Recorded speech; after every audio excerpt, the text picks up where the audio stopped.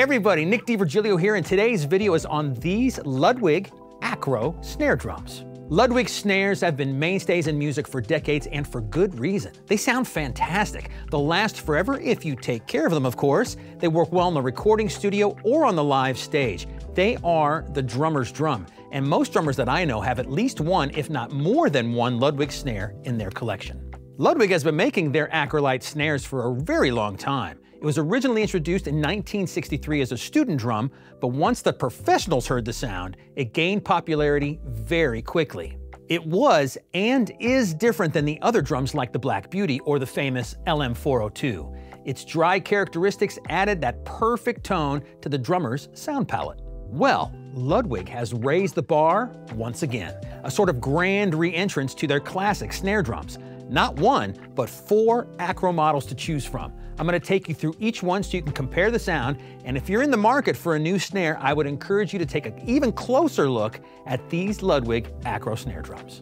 Before we go there, I would ask that you like this video and subscribe to our channel if you're not already a subscriber. Also, for even more info on all the gear that Sweetwater sells, which is a ton, head on over to sweetwater.com. It's time to get on to the Acro snares. There are four shells in the line. The ever classic and original aluminum, which I have right here in the center. There's also copper, which I have to my left. Bronze, which is right in front of me here. And brass to my far left over here. The shells are lightly tempered and brush sanded, which essentially has the opposite effect of polishing. It roughs up the shells a little bit to give them a little bit additional warmth on the top end. They are seamless one millimeter shells all drawn from a single sheet, as they are with the Supra and Black Beauty models.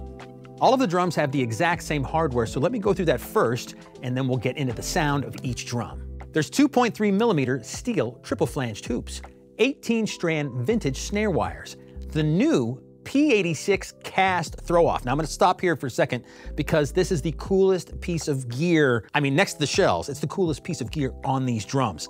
It has a great look and it's super simple to use. And when, you know, a throw off is really one of the most important pieces of gear on a snare drum. You want to be able to get the snare wires off really easily and back on. You can tighten up the snare wires. It's just simple to use and it has a great look. It's this piece of gear right here. It's actually in two sections and you tighten and loosen the snare wires in the middle. Usually the knob is on the top of the throw off. They've designed it this way with the knob in the center, which is a great change. It's super simple to get the wires on and off. You'll notice at the bottom part where the snare wires are attached moves in and out as I turn the throw off on. There's a spring right at the bottom to help that go back and forth. All in all, it's such a cool design, has some great etching on it as well. I took one of these P86 throw-offs and put it on a drum from the 1970s or 80s. My father-in-law has this great old Ludwig hand-hammered brass drum. The throw-off was getting old, wasn't working too well. I put one of these on and it works perfectly. So it's a great new addition to Ludwig's hardware. There's classic Ludwig lugs on all of these drums. It looks great on the shells. Also, you get coated ambassador heads on the bottom, clear ambassador on the resonance side, and all of these drums are handcrafted in Ludwig's Monroe, North Carolina factory. So now let's go through each drum individually and then we'll play them all together. I'll put the snare wires on and off and you can hear what these drums sound like. I started with the tuning as close to the same on each drum. The nuances are slight, but you'll definitely be able to hear a little more dark flavor, a little bit more brightness, depending on the shell that I'm playing. So let's first start with the classic aluminum Acrolite. Now this is the one that was first made. It's been around for a long time. It's got a dry and powerful sound. Start with the snare wires off and then I'll turn them on as I'm playing. Here we go.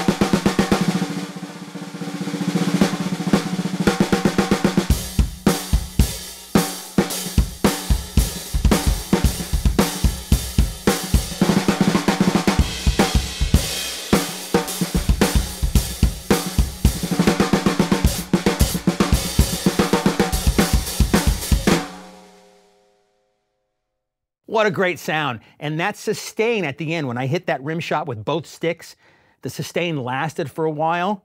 That is a great thing. That's the life of the drum really coming out. If you want to deaden up the drum with some snare weights or other dampening products, you certainly can do that and make it even drier. Different head combinations will dry up the sound as well.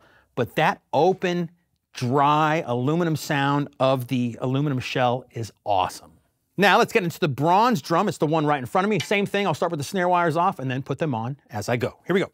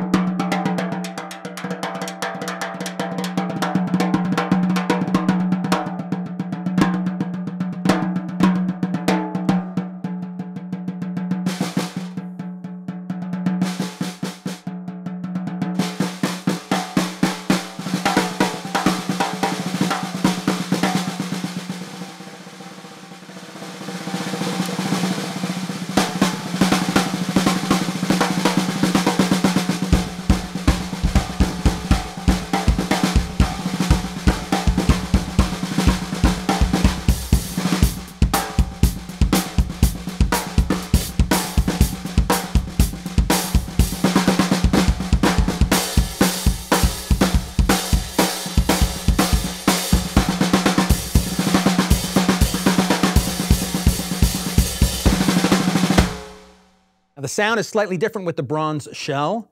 It sort of harkens to a wood shell drum just a little bit. It's warmer. It has more throat, more low end sort of goodness to it. It's loud, but in a really musical way. And it's really sensitive too. Boy, you can do anything with this drum. All right, now to the copper shell. Snare wires off first. And uh, let's check it out. Here we go.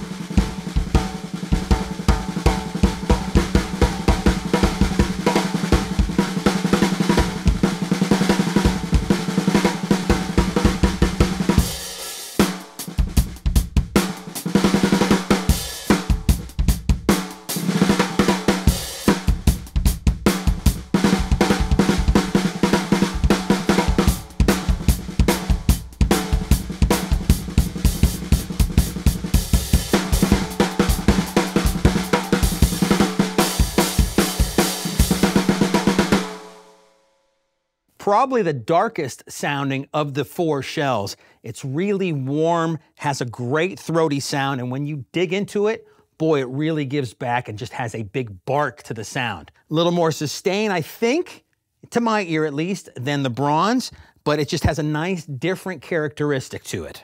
Now, last but not least, is the brass shell. It's over here on my far left. Snare wires off and then back on. Here we go.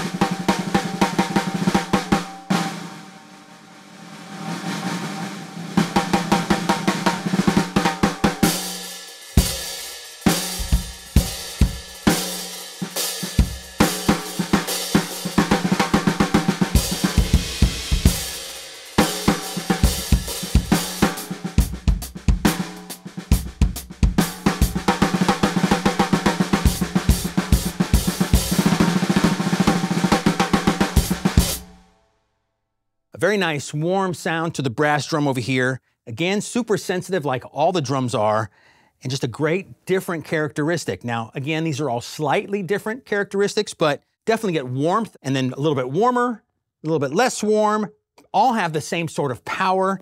Now, what I want you to do, since I'm talking all this warm, a little less warm, all that kind of stuff, let's play all of the drums and see if you can tell the difference. I'll do nice single strokes with each drum, so it's simple at first. And then I'll play a groove with each drum, and let's see what they sound like. Here we go.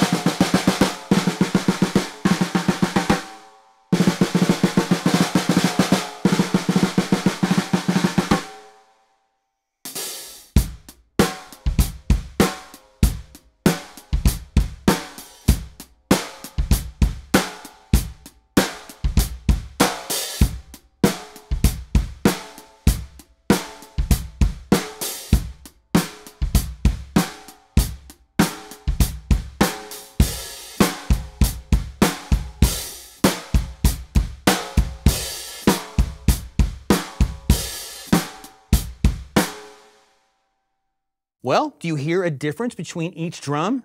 Again, it's slight, but to my ear, I definitely do. I love the aluminum, but I think I really love this copper over here as well, the warmth and body to it. But man, you can't go wrong with any one of these drums. So one last thing I would like to try is I'm gonna play these things with some brushes over here. You can hear the difference that way. And then I might slightly change the tuning of each drum before we finish off this video.